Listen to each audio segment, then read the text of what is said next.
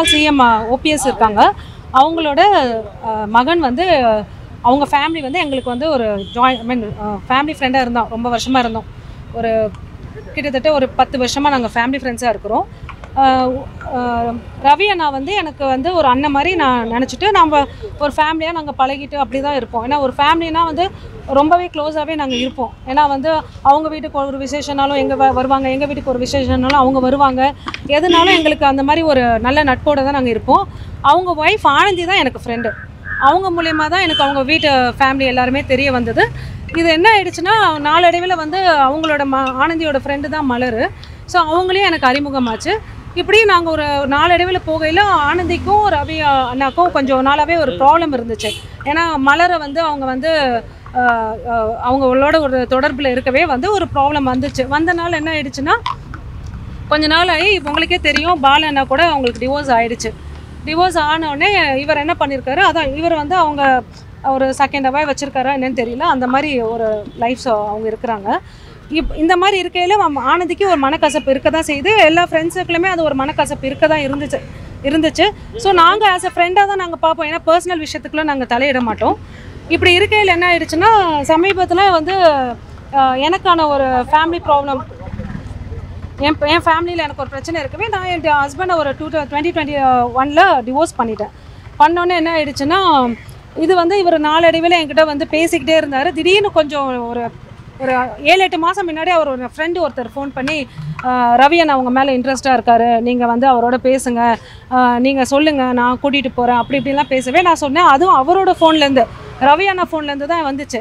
ரவி அண்ணா வந்து ரொம்ப மரியாதையாக தான் பேசுவார் வைப்பார். ஆனால் அந்த ஃபோன்லேருந்து வரவே நான் வந்து ரொம்பவே டென்ஷன் ஆகிட்டு ஆனந்திக்கிட்ட முத முத சொன்னேன். அவங்கக்கிட்ட தான் சொன்னேன். இந்த மாதிரி இப்படி ஒரு கால் வருது அண்ணன் ஃபோன்லேருந்து ஆனால் வேறு ஒரு நபர் பேசுகிறாரு அப்படின்றத நான் சொன்னேன். அதுக்கு அவங்க என்ன சொன்னாங்கன்னா ரொம்ப கஷ்டமாக தான் சொன்னாங்க என்னன்னு தெரில மேபி அப்படிலாம் இருக்காது. அவர் வந்து யாரோ அவர் ஃபோனை தான் அவங்க ஃப்ரெண்ட்ஸ் யாராவது எடுத்து மிஸ்யூஸ் பண்ணியிருப்பாங்க ஏன்னா அவங்களோட ரவி அண்ணாவோட ஃப்ரெண்ட்ஸும் என்னோடய என்னோட ஸ்கூல் நானும் படித்த ஸ்கூல் எல்லாமே ஒரே ஸ்கூல் கொடைக்கானல் தான் சென்ட் பீட்டர்ஸ் தான் நாங்கள் படித்தது ஸோ அந்த ஸ்கூலில் இருந்த நபர் எல்லாருமே எங்களுக்கு ஒரு ஐம்பது பேர் வந்து மியூச்சுவல் ஃப்ரெண்ட்ஸாக இருக்கவே அவங்க யாராவது பண்ணியிருப்பாங்க ஏன்னா உன்னே தெரிஞ்சு அப்படி பண்ணியிருப்பாங்க அப்படின்னு சொல்லவும் நான் அதை விட்டுட்டேன். சரி அது ஒன்றும் பெருசுப்படுத்த வேண்டாம். ஏன்னா ரொம்ப கொச்சையாக பேசினாரு.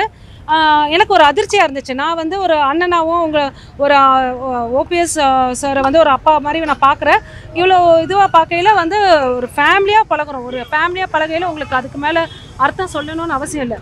ஆனால் அப்படி சொல்லையில் என்ன ஆயிடுச்சுன்னா இவர் வந்து அந்த மாதிரி என்கிட்ட இவர் பேசியிருக்க மாட்டாரா இருப்பாரான்றது எனக்கு தெரியல. ஏன்னா அவர் ஃப்ரெண்ட் அப்படி பேசவே. சரி யாரோ அவங்க வந்து ஃப்ரெண்ட்ஸ் சர்க்கிளில் வந்து நம்மளை சும்மா விளையாட்டுக்கு பேசுகிறாங்களோ பண்ணுறாங்களோ நான் விட்டுட்டேன். அது போன வருஷம் அக்டோபர் மாதம் ரெண்டாம் தேதி நடந்தது. இதுக்கப்புறம் என்ன ஆயிடுச்சுன்னா நிறைய அனாமஸ் கால்லாம் வரும். அப்பப்போ யார் என்னன்னு கேட்டால் சரி அதெல்லாம் வெளியே எப்போவுமே நடக்கிறது தான் பெண்களுக்கு. அப்படி நம்ம நே- ஒரு அவாய்ட் பண்ணிடுறோம். இது என்ன ஆயிடுச்சுன்னா ஏப்ரல் ஃபர்ஸ்ட் அன்னைக்கு இவர் ஃபோன்லேருந்து எனக்கு ஒரு கால் வந்துச்சு.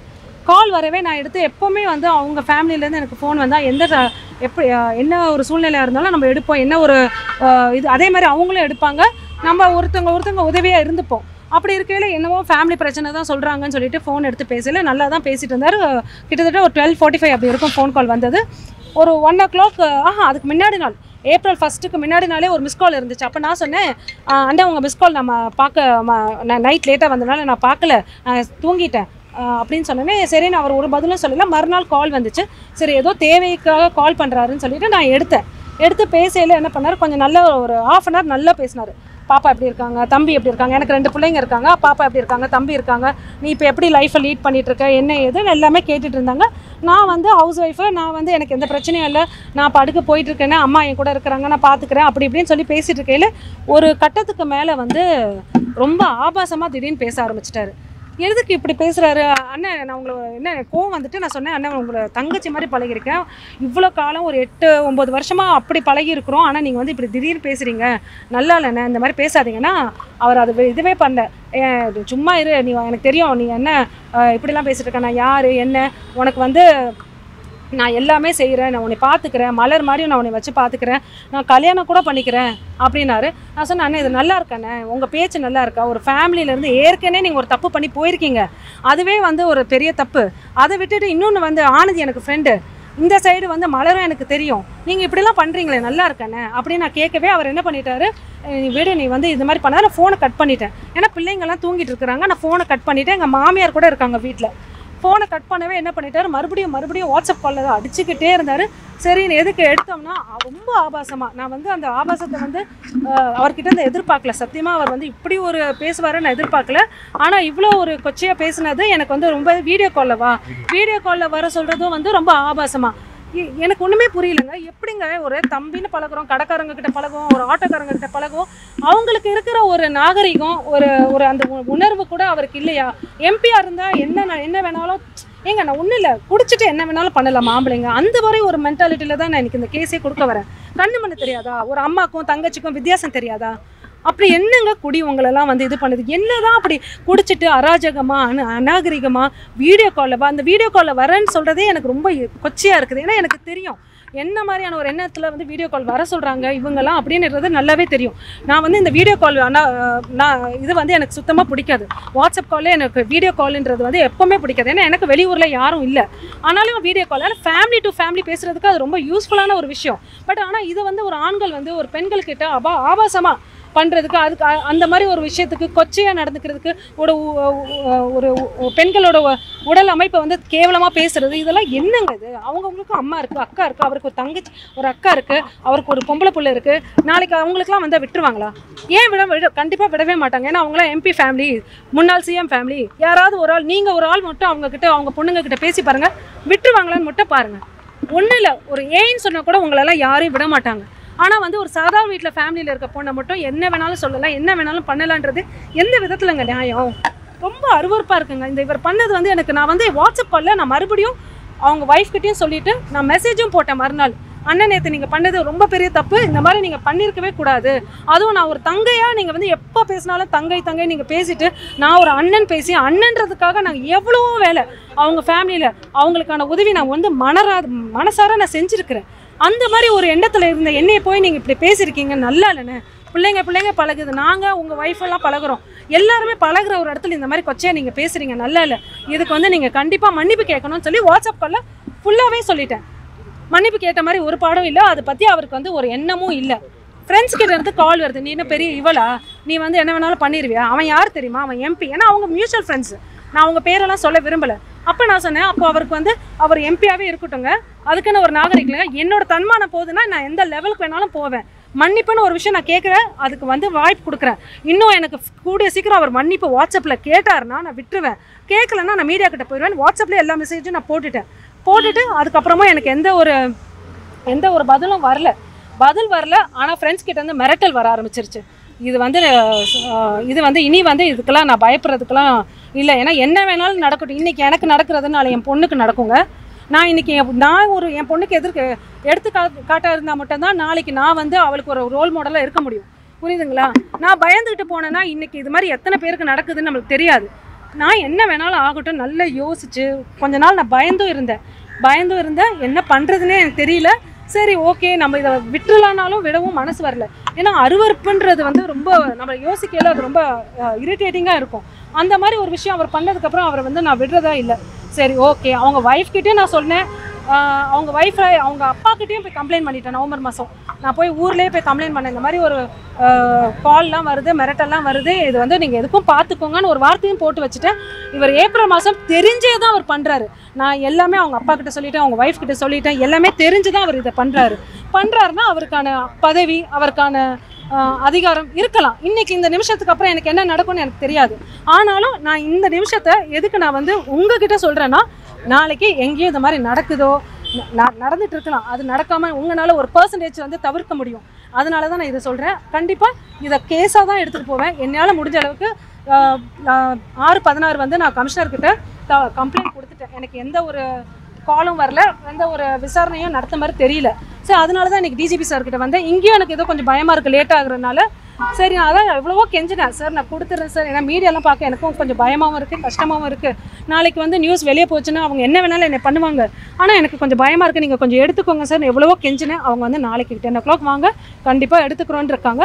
சரி நாளைக்கு நான் கண்டிப்பாக டென் ஓ கிளாக் வருவேன். வந்து நான் கம்ப்ளைண்ட் கொடுக்க தான் போகிறேன் இதுக்கிடையில் எனக்கு என்ன ஒரு மிரட்டல் வந்தாலும் அதை நான் பொருட்படுத்தவும் போகிறதில்ல கண்டிப்பாக நாளைக்கு நான் இருந்தேன்னா கண்டிப்பாக வந்து கம்ப்ளைண்ட்டும் கொடுப்பேன். நான் இருக்கிற வரைக்கும் இந்த கேஸை நான் விடவும் மாட்டேன். என்ன ஆதாரம் வச்சிருக்கீங்க? வாட்ஸ்அப்பில்? எல்லா மெசேஜஸ் இருக்கும் அவர் கால் பண்ணது அநாகரிகமாக அவர் வீடியோ கால் பண்ணதும் இருக்குது நைட்டு பன்னெண்டு நாற்பத்தஞ்சிலேருந்து காலையில் நாலரை அஞ்சு மணி வரைக்கும் தொடர்ந்து எனக்கு கால் ஹராஸ்மெண்ட் ஃபோன் எடுக்கலைன்னா நான் இப்போ வந்துடுவேன் ஃபோன் எடுக்கலைன்னா நான் வீட்டுக்கு வரேன். எங்கள் வீட்டுக்கெலாம் வந்துடாதீங்க தயவு செஞ்சு வந்துடாதீங்கன்னு எவ்வளவோ கெஞ்சினாலும் இப்போ கார் அனுப்புகிறேன் நீ வா இல்லை. அப்படின்ற அளவுக்கு ஒரு மிரட்டல். இதெல்லாம் நல்லாவே இல்லை. இதெல்லாம் வந்து நான் வந்து ஏதோ தைரியமாக வந்து இங்கே சொல்கிறேன்னா எனக்கு தெரியல. பட் ஆனால் எத்தனை பேர் வந்து மறைச்சிட்டு இருப்பாங்க எத்தனை பேர் பயந்துட்டு இருப்பாங்கன்னு எனக்கு தெரியல. ஆனால் நான் சொல்லணும்னு வந்துட்டேன். நான் சொல்லிட்டேன். அப்பாட்ட பேசும்போது என்ன சொன்னாங்க? நான் பார்க்குறேன் நான் வந்து அப்படியா? எனக்கு தெரியலையே. நான் பார்க்குறேன் கண்டிப்பாக நான் இதுக்கான இன்னும் சொல்லப்போனால் நான் சொல்கிறது எங்கே அவர் கேட்குற மாதிரி இருக்கிறாரு? அப்படின்ற ஒரு வார்த்தையவே அவர் சொன்னார். அம்மா திதிக்கே வரல. அம்மா திதிக்கே வராதப்போ நான் என்னம்மா சொல்லி நான் என்னம்மா பண்ணுறதுன்னு என்னை கேட்டார். அம்மா திதிக்கே வராதவர் நம்ம ஒரு விஷயத்தை எப்படி வந்து சென்டிமெண்டலாக எடுத்துப்பாங்க? சொல்லுங்கள் அதுவும் மூத்த பிள்ளை அம்மா திதிக்கு வரலன்னா அது வந்து எப்படி சென்டிமெண்டலாக எடுத்துப்பாங்க? அவருக்கு சென்டிமெண்ட் இல்லைன்றதை நான் உணர்ந்தேன். அப்புறம் தான் சரி ஓகே அந்த அவரோட ஃப்ரெண்டு வந்து ரொம்ப அநாகரிகமாக என்ன நீ பெண் நீ பெரிய இவளா? எம்பினா உனக்கு என்னன்னு தெரியாதா? உனக்கு என்ன நினச்சிட்டு இருக்கிற? நீ இருப்பியா? ஃப்ரெண்டு மிரட்டுறாரு. அவர் ஃப்ரெண்டு பேர் தெரியல முருகன் முருகன் சொன்னார். பேர் வந்து முருகன் சொன்னார். ஸோ அதனால தான் நான் பயந்துட்டேன். சரி ஓகே இவங்கெல்லாம் ஒரு கேங்காக உட்காந்துக்கிட்டு ஃபோன் பண்ணி இவங்க போதைக்கு நம்ம ஊறுகாயாக நினைக்கிறாங்க போல இருக்கு. அதனால் நம்ம வந்து இதை வந்து விடக்கூடாது அப்படின்றத நான் தெளிவாக முடிவு பண்ணிக்கிட்டேன். பண்ணதுக்கப்புறம் தான் அந்த ஆக்ஷனே எடுத்தேன். அது வரைக்கும். பாதுகாப்பு பாதுகாப்பு கண்டிப்பாக அதுக்கு தான் நான் இன்னைக்கு வந்தேன். ஏன்னா நான் காரைக்குடியில் இருக்கையில் கோயிலுக்கு போயிலையும் வரையிலையும் யாராவது என்னை பார்க்குற மாதிரி கனவு கூட பயம் பயங்கரமாக வரும். நான் தனியாக வரையில ஏதோ கனவுலலாம் ரொம்ப பயப்படுவேன். முழு யாரோ நம்மளை வந்து இது அட்டாக் பண்ணுவாங்க. ஃபஸ்ட்டு ஒரு நான் ஃபஸ்ட்டு நான் ஒரு கம்ப்ளைண்ட் கொடுக்கையில ஒரு ஒரு ரெண்டு வாரம் எனக்கு தூக்கமே இல்லை.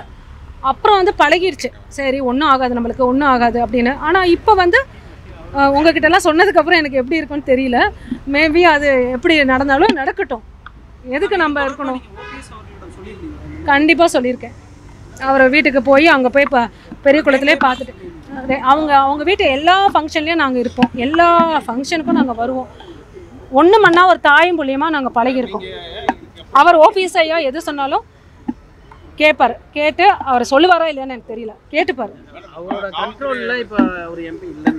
கண்டிப்பாக அவரோட கண்ட்ரோலே இல்லை. ஏன்னா அவர் சொன்ன ஒரே ஒரு வார்த்தை நச்சுன்னு ஆணி அடித்த மாதிரி இருந்துச்சு. சொந்த தாயோட திதிக்கு வரலாமா நாங்களாம் என்னம்மா பண்ணுறது ஃபோன் அடித்தா எடுக்க மாட்றாரு. அப்படி இருக்கிறவரை நாங்கள் எப்படிம்மா டீல் பண்ண முடியும்? அப்படின்ற வார்த்தை எனக்கு சொன்னது கொஞ்சம் கஷ்டமாகவே இருந்துச்சு அவரோட சைடில் காவல்துறை எப்போ கம்ப்ளைண்ட் கொடுத்தீங்க? கமிஷனர் அலுவலகத்தை ஏன் நடவடிக்கை? பதினாறு ஆறு கம்ப்ளைண்ட் கொடுத்தாச்சு. இன்னும் எனக்கு எந்த ஒரு நடவடிக்கை எடுத்த மாதிரி விசாரணைக்கு கூப்பிட்ட மாதிரி எதுவுமே எனக்கு தெரியல. நான் அதனால தான்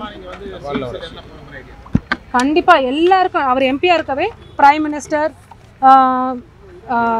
எல்லாருக்குமே கொடுத்துருக்கேன். இங்கே இருக்க சிஎம் செல்லுக்கு கொடுத்துருக்கேன் டிஜிபி சாருக்கு எல்லாருக்குமே கம்ப்ளைண்ட் கொடுத்துருக்குறேன். இந்த சம்பவம் நடந்தப்போ நீங்க இங்க சென்னையா இல்ல வெளியில? சென்னையில் தாங்க இருந்தேன். இப்போ தான் ஒரு மூணு மாசமாக ஊரில் போயிருக்கேன் ஏன்னா இந்த பயத்தினால தான் ஊரில் இருக்கேன். நான் வந்து சிவகங்கை தான் என் ஊர். சிவகங்கை கா காரைக்குடி என் பேர் சிவகங்கை காயத்ரி தேவி தான். எல்லாமே நடந்தது சென்னை தான். சென்னை தான். நான் இத்தனை வருஷமாவும் கல்யாணம் ஆகி இங்கே தான் வந்திருக்கிறேன். நான் இங்கே தான் இருக்கிறேன் எப்போ இந்த விஷயத்தில் வந்து அவர் தீவிரம் காட்ட தீவிரம் ஆக எனக்கு வந்து டுவெண்ட்டி டுவெண்ட்டி ஒனில் டிவோர்ஸ் ஆனதுக்கப்புறம் அவர் வந்து ஸ்லோவாக வந்து அக்கறை காட்டுற மாதிரி அப்படியே சொல்லி பேசி பேசி பேசி ஒரு கட்டத்தில் வந்து கொச்சையாக பேச ஆரம்பித்தார் அவர் நினச்சிக்கிட்டாரு உதவினா பெண்களுக்கு எந்த ரூபத்தில் வந்தாலும் அக்செப்ட் பண்ணிப்பாங்க. அதனால வந்து பயன்பட்டுக்கலாம் அப்படின்னு நினைக்கிறாரு. அப்படி எல்லாரும் இல்லை. அது ஃபஸ்ட்டு அவர் புரிஞ்சுக்கணும். மேபி அவங்க பா- அவர் பார்த்து அவங்களாம் அப்படி இருப்பாங்களா என்னன்னு எனக்கு தெரியல. ஆனால் எந்த ரூபத்தில் உதவி வரனாலும் எடுத்துக்கிற ஆள் பெண்கள் கிடையாது. அதுவும் தமிழ்நாட்டில் இருக்க பெண்கள் வந்து கண்டிப்பாக அவங்களுக்குன்னு ஒரு எத்திக்ஸ் இருக்குது அந்த எத்திக்ஸை யாரும் மீற மாட்டாங்க. எந்த ஒரு சுச்சுவேஷன்லையும் மீற மாட்டாங்க. அது அவருக்கு புரியணும். அவருக்கு புரியல இப்போ புரியும். கண்டிப்பாக புரியும். குற்றச்சாட்டு வைக்கும்போது கண்டிப்பா உங்க மேல ஒரு விமர்சனம் வரும். அரசியல் ரீதியா ஒரு பின் பின் பின்னோக்கி நகர்த்துறதுக்காக எதிர்க்கட்சிகள் செய்யற சரி. இது மாதிரியான பின்புலத்துல அதெல்லாம் நான் ஒரு ஒரு என்னன்னா நாளைக்கு எனக்கு வர பாதிப்பு என் பொண்ணுக்கு வரும். இதனால அம்மா வயசானவங்க மன உடைஞ்சிருவாங்க. ரொம்ப ஏற்கனவே உடம்பு முடியாதவங்க. என்ன பண்ணலாம்? இது வந்து நம்ம விட்டுறலாமா? வேண்டாமான்னு யோசிச்சு யோசிச்சு பார்த்தேன். ஆனா என் பொண்ணு என்ன சொன்னாங்கன்னா விடுறதெல்லாம் ஒன்றும் இல்லை. எங்களுக்காக தானே நீங்கள் விடணும்னு நினைக்கிறீங்க? எங்களெல்லாம் நீங்கள் ஒன்றும் ஒன்றும் நினைக்க தேவையில்லை. நீங்கள் கண்டினியூ பண்ணுங்க. அப்படிப்பட்ட ஒரு வாழ்க்கை எங்களுக்கு வேண்டாம். அது என்ன ஆனாலும் ஆயிட்டு போகுது. நீங்கள் பண்ணுங்கன்னால கம்ப்ளைண்ட் பண்ண வேற யாருன்னா இருக்காங்களா? இல்ல யாருன்னா வேற யாரையாச்சும் சந்திச்சு? யாருமே இல்லை. இது ஃபேமிலி டு ஃபேமிலி ஃப்ரெண்ட்ஸ் அவருக்கே தெரியும். என் பின்னாடி யாருமே இல்லை. அவர் பேசின பேச்சு மட்டும் தான் இருக்குன்னு. அது மட்டும் அவருக்கு தெரியும். அந்த பேச்சு கொச்சையான பேச்சு நான் கம்ப்ளைண்ட்ல இருக்கு இருக்கு. அது ஒரு பொண்ணுகிட்ட பேசக்கூடாது. ஆனா அவர் பேசிட்டாரு அதுதான். அவருக்கே தெரியும் நான் என்ன மாதிரி ஒரு பின்புலத்துல இருக்கிறேன்னு. என்னங்க? ஆதாரங்கள் நாளைக்கு கூட கொடுத்துருவேங்க. என்னங்க எல்லாமே ஃபோனில் இருக்கு. அதை எல்லாமே ஜெராக்ஸ் எடுத்து வச்சிருக்கிறேன். எல்லாமே இருக்கு. பாதகம் செய்பவரை கண்டால் நாம் பயங்கொள்ளலாகாது பாப்பா. மோதி மிதித்து விடு பாப்பா. அவர் முகத்தில் உமிழ்ந்து விடு பாப்பா. அண்மை செய்திகளை உடனுக்குடன் தெரிந்து கொள்ள இணைந்திருங்கள் இயம்நாடு தொலைக்காட்சியுடன்.